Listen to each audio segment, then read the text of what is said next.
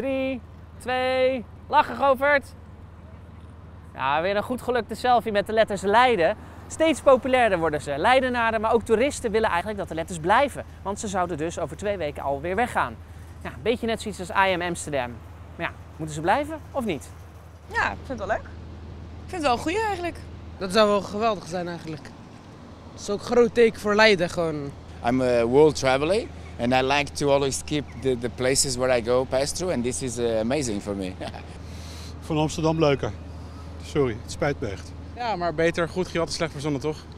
Ja, ik vind het wel oké. Het, is, eh, het is een mooie kleurrijke toevoeging aan een stukje stad wat, eh, wat wel wat fleurigheid kan gebruiken met veel bouwwerkzaamheden nog. Dus eh, volgens mij is het een leuke, leuke toevoeging.